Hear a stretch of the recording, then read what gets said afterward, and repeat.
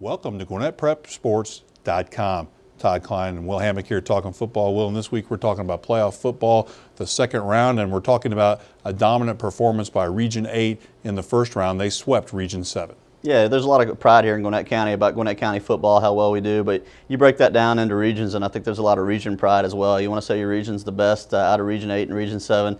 Year in and year out, it kind of flip flops which uh, which team's the strongest. Certainly, Region 7 had a state champion the last two years in Norcross, and, and North Gwinnett made the finals last year as well. But I think this year it's a clear case of Region 8 being the stronger region, being more physical in those first round matchups, and sweeping all four of those games. Well, one of the big upsets in that first round was Central Gwinnett knocking off North Gwinnett. That earns them a second round matchup with Newton. Break down that game, Central Gwinnett going to play at Newton. I think Newton's got a very, or Central Gwinnett has a very good chance of knocking Newton off in this one. I think Newton's uh, certainly inspired by their first round win against Valdosta, but I don't think it's an overly uh, a talented Newton team. I don't think it's going to be overwhelmed. Uh, certainly, Central's played a lot tougher teams on their schedule so far this season. So, if Newton, Newton's quarterback can be controlled by that Central defense, which is a very good defense, uh, I think Central can win this game despite the injuries on offense. So, I'll look for the Black Knights to win a close one.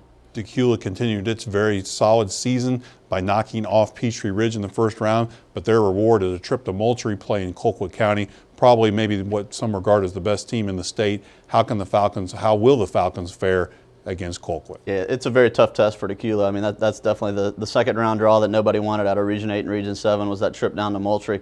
It's going to be a very tough test and it's a very talented team, a state championship type team.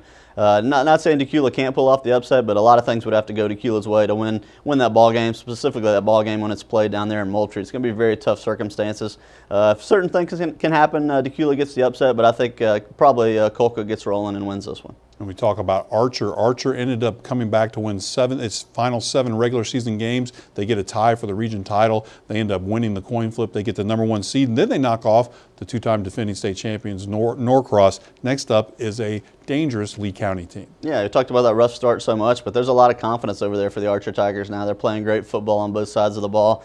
Uh, a little bit of a test. Uh, can't can't really overlook Lee County. There's a lot of talent down there. Have some pretty impressive results on their schedule this season. But I think Archer's really battle tested from their tough schedule as well. And playing at home, I got to give Archer the edge. And then finally, we talk about Grayson, and They ended up getting the number three seed because of a coin flip. Might have done them a favor because they're not going to Moultrie. They are going to Tucker. How do the Rams look after they beat Mill Creek. Yeah, there's a lot of intrigue in this matchup. I think a lot of people are talking about how good this game could be. Tucker's got a lot of talent as well, but that Grayson defense is just dominant. I don't, really don't see Tucker doing much of anything against Grayson offensively. Certainly, if Mill Creek couldn't move the ball, I don't really see how uh, Tucker could either. It's going to be very low scoring on that end. I think the Grayson offense showed me a lot last week. I think they're going to make this game a little more lopsided than people might think, and Grayson gets the win. Well, that's all the time we have for this week. Please check us back out next week for more talking football at GwinnettPrepSports.com.